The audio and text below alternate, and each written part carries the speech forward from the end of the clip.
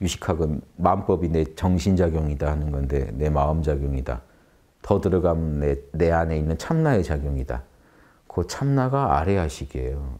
업보까지 관리한다는 의미로 아래하식이라고 그러는 거예요. 원래 참나인데. 그 참나가 내가 지은 모든 업보를 관리하면서 이런 세계를 구성해요. 그러면 그게 또, 또 한편으로는 그 참나가 에고를 만들어내요. 그럼 그 에고가 자기만의 시각으로 이 우주를 마음속에 구성해서 육식과 오식으로 우주를 읽어내요. 그럴 때 읽어내는 그 태상이 결국 아래아식이 만들어낸 거예요. 그러니까 자기가 게임을 만들고 자기가 접속해서 게임하고 있는 사람에 해당되는 거죠. 이 온 우주에서 지금 이게 그래서 인도에서 힌두교에서 이런 거를 신의 릴라라고 하는 겁니다. 온 우주를 신의 놀이다라고 하는 게 지가 만들고 지가 들어와서 또 에고로 탈쓰고 돌아다니면서 또 도도 닦고 뭐도 하고 뭐도 타락도 하고 공부도 하고 근데 근원적으로 이게 신이 아니고서는 이게 이렇게 돌아갈 수가 없다는 걸 안 거죠.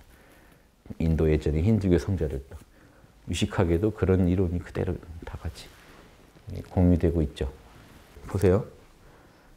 여기 아래아식입니다. 아래아식이 하나 뻗어나가면 에고가 돼요. 그럼 7식이죠. 아래아식은 지금 일단 8식만 얘기할게요. 아래아식. 이 에고가 또 뻗어나가면 뭐가 되죠? 예, 6식이 돼요. 그럼 6식은 정보가 어디서 오죠? 5식에서요. 색깔, 소리, 냄새, 맛, 촉감. 그쵸? 여기를 막으면 안 되죠. 이렇게. 제가 그 다음에 그림 어떻게 그렸죠? 이렇게 그렸어요. 여기가 세 개.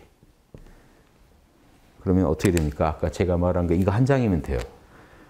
팔식에서 빛이 나가서 에고를 통해 육식을 통해 이 냄새를 접하고 냄새에 대해서 육식이 뭐라고 정리를 하고 그게 이제 내 에고의 경험이 되죠.